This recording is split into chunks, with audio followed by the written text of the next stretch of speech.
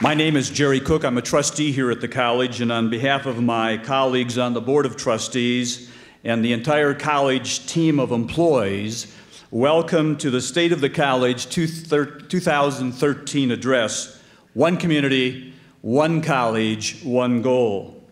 We are delighted for your interest and support of your college, Johnson County Community College.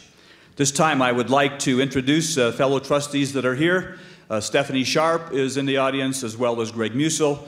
We appreciate your attendance. I would also like to recognize former, former uh, trustee member and Congressman Dennis Moore is with us today. Uh, Senator Dick Bond, a former Johnson County of the Year. Uh, and if we have missed any others, I, I'm sorry, but thank you for your ongoing support and attendance here at the college.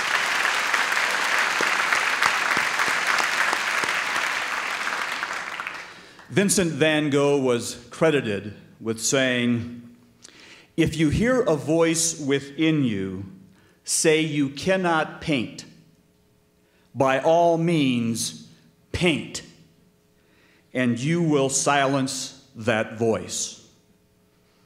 Johnson County Community College, a college of first choice, a college where 30% of Johnson County High School students as freshmen attend Johnson County Community College, a college where almost 40% of its students are 24 years old and older, a college where 93% of career program completers find a job within six months.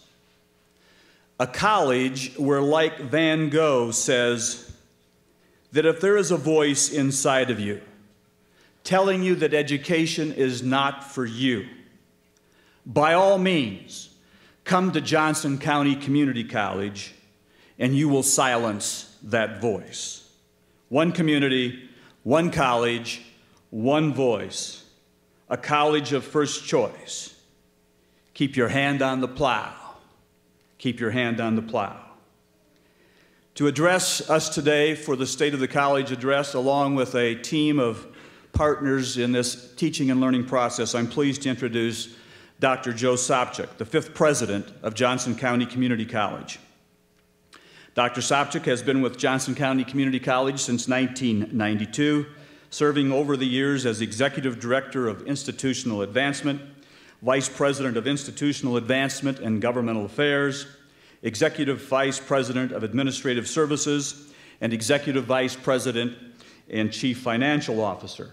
His recent achievements include the implement, implementation of a new approach to building the college's $140 million operating budget, resulting in a reduction in expenses and reallocation behind strategic priorities, and the completion of a successful fundraising campaign for the college's new hospitality culinary academy.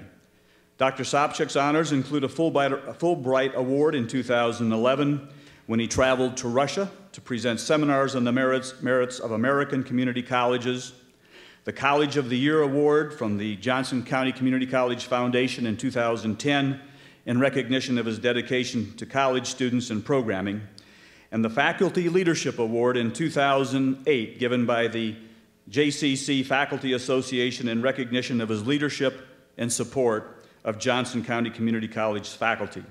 He has taught as an adjunct in the College Business Division since 2006. Dr. Sopcich earned bachelor's and master's degree from the University of Notre Dame and a PhD from the University of Kansas. Ladies and gentlemen, the College of your president, Dr. Joe Sopcich.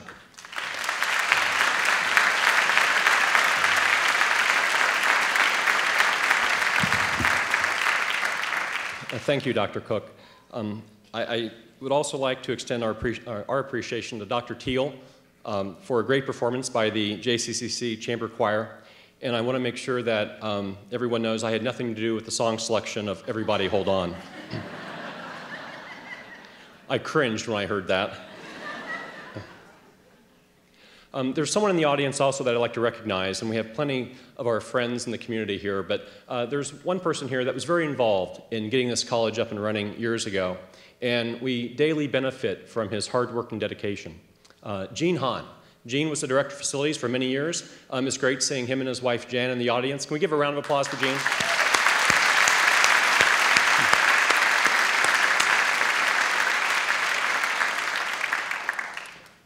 Thank you, Gene. It's good seeing you. Um, you know, I get to go to a lot of these uh, state of this and state of that, state of something speeches. I've attended the state of the school district, the state of the city, the state of the county, it's amazing that anything ever gets done in Johnson County because we're all so busy telling one another what kind of state we're in.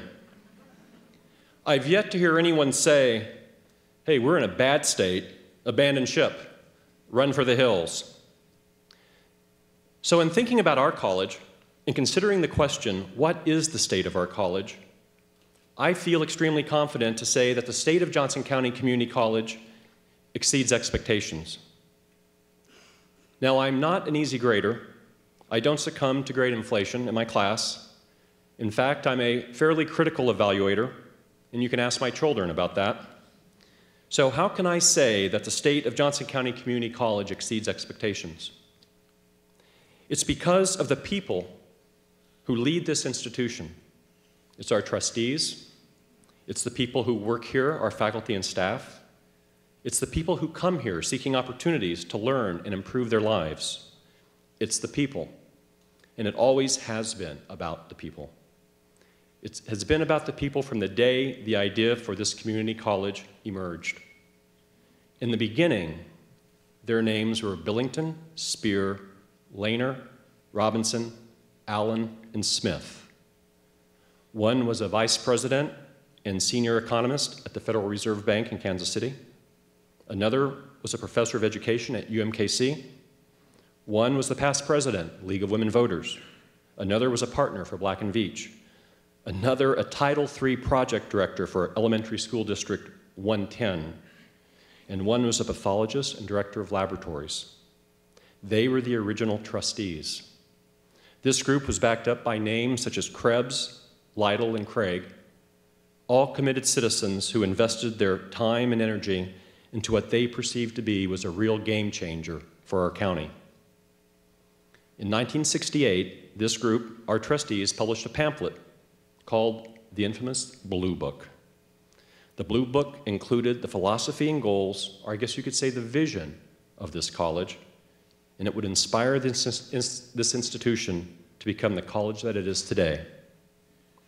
Throughout its 12 pages, and there were only 12 pages, words and phrases, many prescient and foretelling.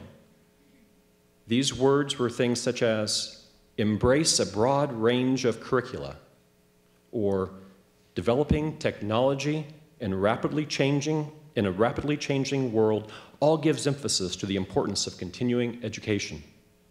Or how about academic and vocational should not be antagonistic concepts?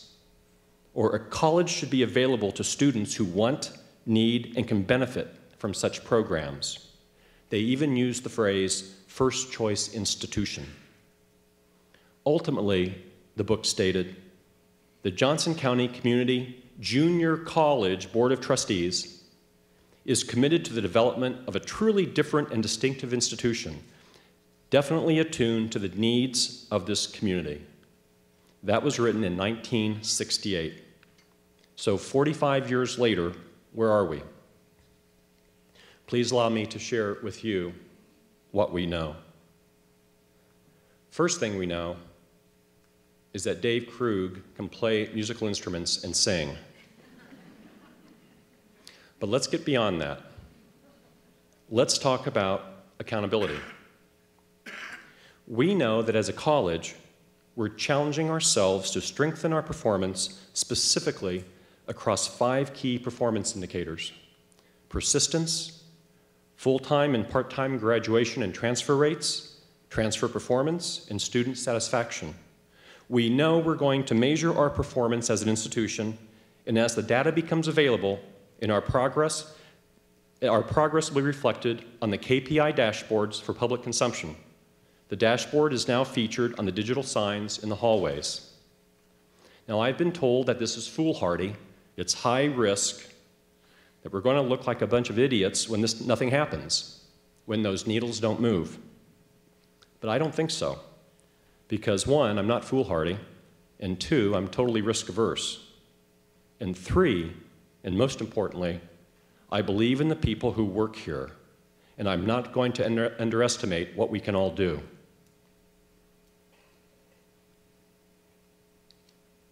So we can do anything when we put our minds to it, and we're going to prove this, and we're going to move those needles.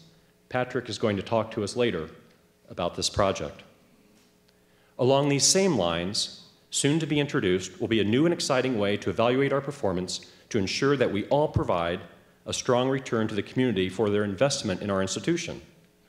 Our employees deserve to work in an environment that is challenging and invigorating one that inspires them to improve their performance and themselves.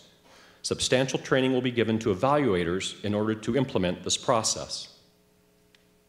And we're going to talk about planning, because in higher education, we love to plan. We know that we will soon launch a redo of our strategic plan, and now is the perfect time to renew and update it. This effort will include all of us, members of our faculty, staff, and representatives of our community will all be a part of this critical endeavor. So both of these initiatives, the KPIs and the strategic plan, are critical to the lifeblood of this college and will tie in very nicely with our ongoing accreditation process with the Higher Learning Commission and what's expected at the Kansas Board of Regents. These are absolutely essential for our future. Lastly, we'll challenge the academic branch to create an academic master plan, and this academic master plan will help guide our programming and play a key role in the development of a facilities master plan, something else that needs to get done. Facilities will follow academics. And lastly, and what is certainly the topic of the day, is fiscal responsibility. We know that we have some work to do on our budget.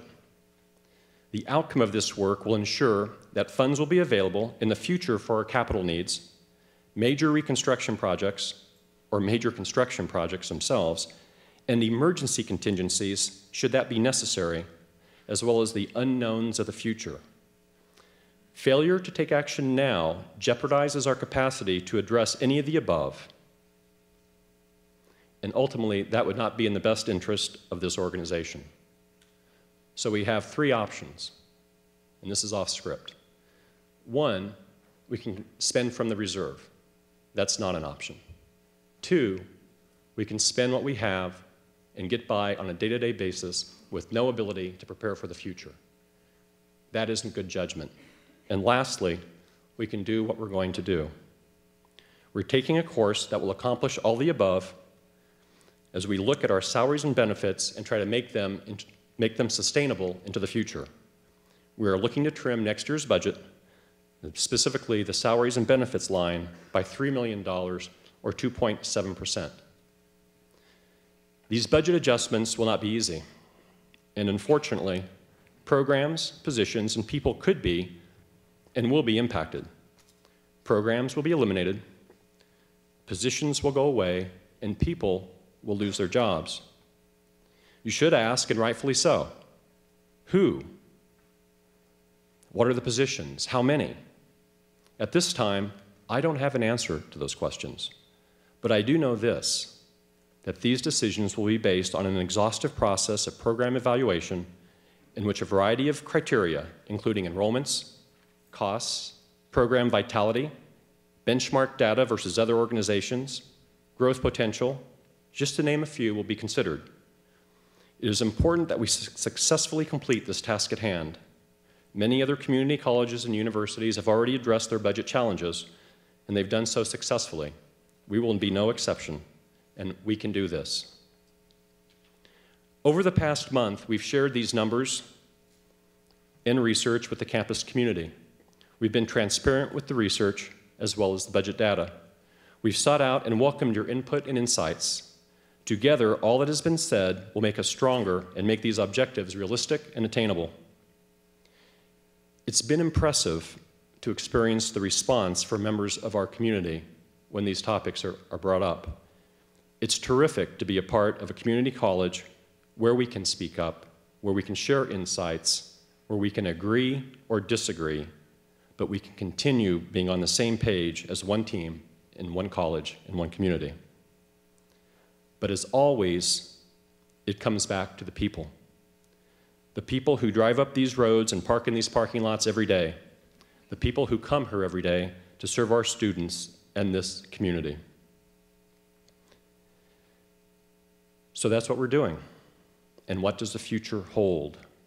Where are all those lofty ideals that the Blue Book talked about 45 years ago? I've been asked, do you have any vision at all? I've been asked, is all you can think about are the KPIs and money? Well, I'll ask you to join me now in a little visioning exercise of what I envision, what I envision this community college could be.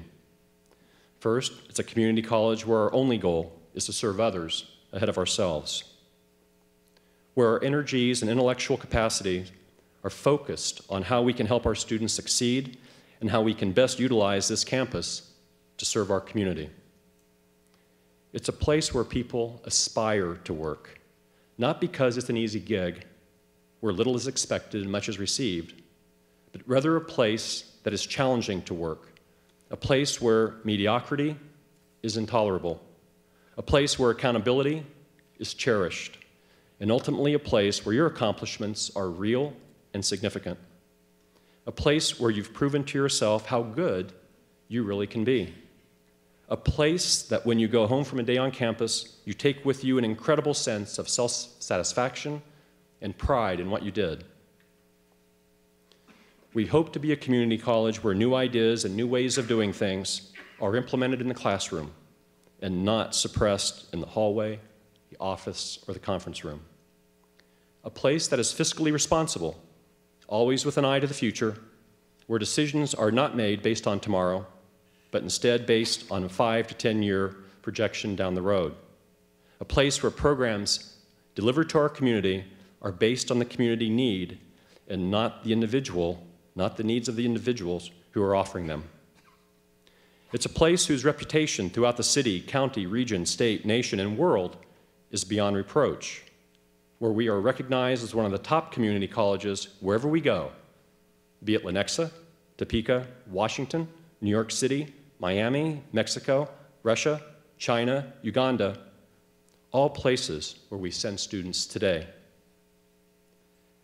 This could be a place that is highly recognized, not because of our remarkable facilities, but rather because of the incredible ideas and creativity and energies that our colleagues have put into the collective effort of ensuring student success.